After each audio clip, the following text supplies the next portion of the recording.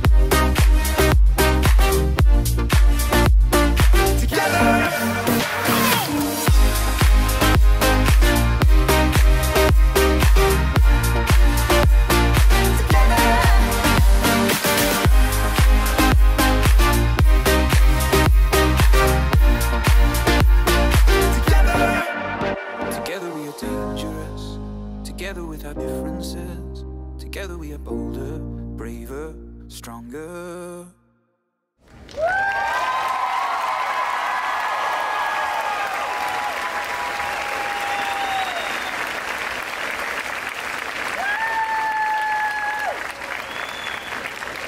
Awesome job, everybody. Great job. I want to give a very special thank you from the bottom of my heart to Chris Godet for everything.